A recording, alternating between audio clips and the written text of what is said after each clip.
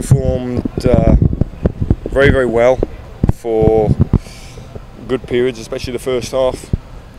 Uh, the first 20-25 minutes was superb. The players came out and they dominated the, the, entire game. The possession that they had was excellent. We had great movement, good shape.